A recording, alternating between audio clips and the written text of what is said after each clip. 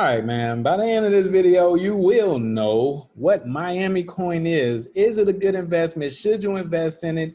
What the hell is going on with it? All right, so it is down 5.40% today in the past 24 hours. As you see right here, it does the rocky road without the ice cream, but we don't usually care about that on this channel.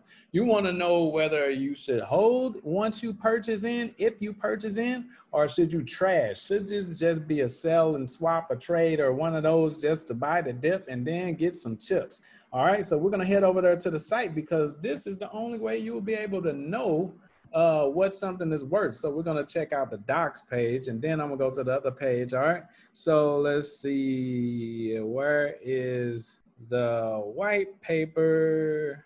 All right, what are city coins? We're gonna check this out right here.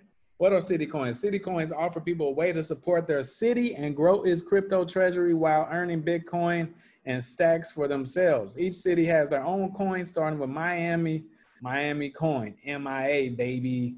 Okay, so what is Miami Coin? It is the first city coin to market going live soon. Miami Coin is a cryptocurrency powered by the Stacks protocol, which enables smart contracts on Bitcoin. So look, I like the fact that it's about rep your city with some Petey Pablo in it, you know what I'm saying? But hey, uh, we got to check out some usage cases on this channel, okay? So we need to see what it can be used for my, uh, the city of Miami can elect to use its growing crypto treasury to benefit the city and its constituents. Think new public places, improvements to infrastructure, hosting city events, recruiting startups, and more. Okay, so it's kind of like an events coin, it seems as if that's where they're trying to go with it.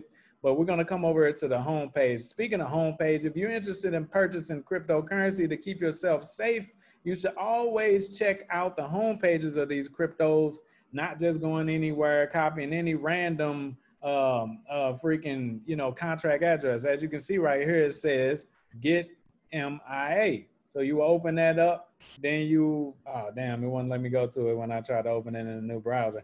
Anyway, you would click on get MIA and it would take you there. Okay, so how to get it. All right. Miami Coin is powered by Stacks, a protocol that blah, blah, blah. I told you 30% of miners, blah, blah, blah mining coins, blah, blah, blah. That ain't what we worried about. Okay, so you wanna know what it can do.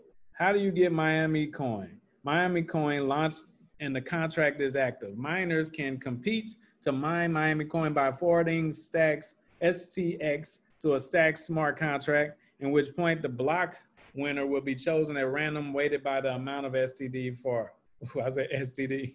All right, check this out. What can Miami coin holders do with their coins? Anyone can mine Miami coin, program Miami coin via smart contracts, and even earn BTC from the protocol as it gets more usage. Miami coin is a new way for developers to create applications and experiment with innovative usage cases.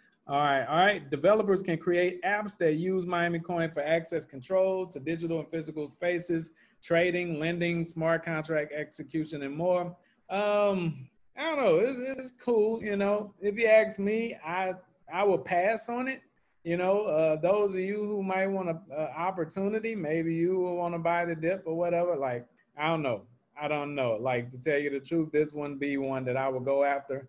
I'm looking for more of uh, a real life application, real world application. And just because it's for the city doesn't make it a non-application based token. It's still mainly just dealing with app, uh, you know, his applications and his platforms and stuff like that. I'm, I'm more of a real world like Flexa. We need Flexa AMP. We need ACH payments, that type of stuff, real world stuff. Okay. Uh, so you tell me in the comments whether you would hold or if you would trash Miami